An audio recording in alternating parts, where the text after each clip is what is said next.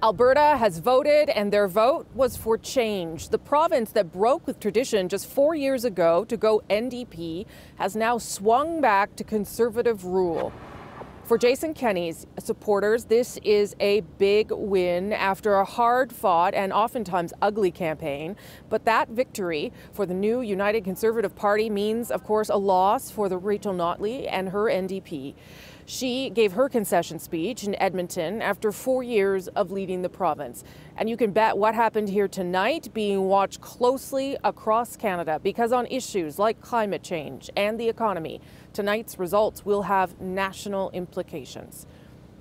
Of course, Jason Kenney, no stranger to the national stage, though, a for former federal cabinet minister, now premier designate in Alberta. Let's head now to Carolyn Dunn, who is at United Conservative Party headquarters. Carolyn, Jason Kenney just gave his victory speech, and it was a long one, I must say. Yeah, it sure was. I guess that's what happens when you have a decisive majority. You get time to talk, don't you?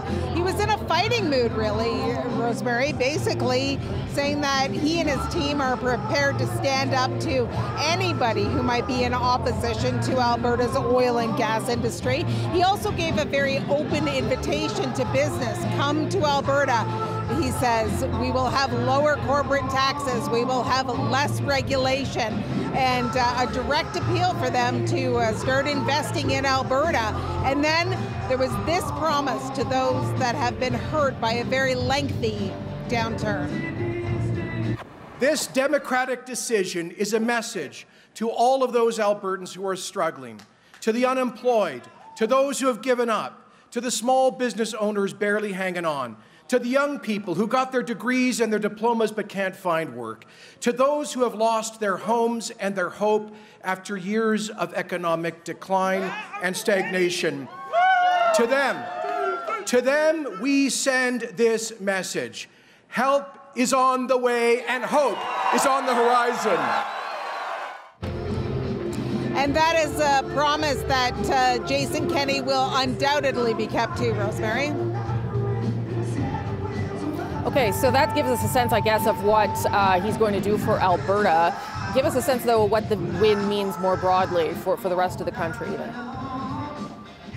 Well, you know, uh, there's a lot of disdain for the carbon tax in this province, and so Jason Kenney is promising not only Albertans that the, his first act as premier uh, will be to repeal the provincial carbon tax, but that he is going to join a legal battle against the federal carbon tax. He is also promising to stand up to BC and uh, enact uh, turn off the tap legislation if they don't cut their uh, opposition to pipelines to take uh, Alberta oil to Tidewater, and also that he is prepared to fight Ottawa at every turn on from everything from pipelines to equalization.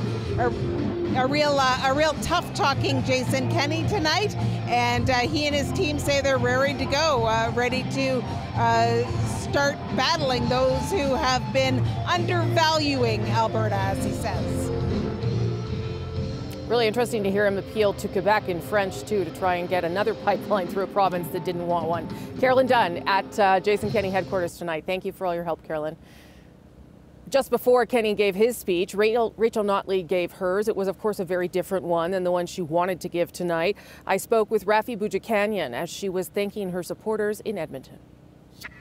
Though there might have been disappointment in her words, and there's disappointment in this room, there's clearly not a lot of acrimony to words Rachel Notley for failing to deliver them a second NDP government. She's essentially saying, look, we're proud of our record, we did a lot, here is a little bit of what she had to say so far.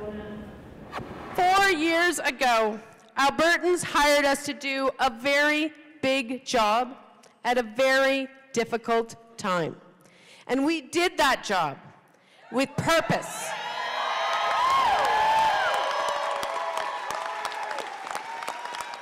And we did it with integrity.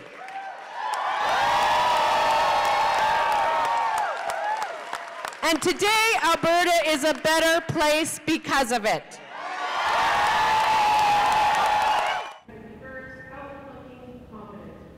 Now, she went on to list some of what she considers the NDP government's accomplishments during these last four years, including the carbon tax, which she didn't quite name. She just said we acted on climate change. She also talked about raising the minimum wage.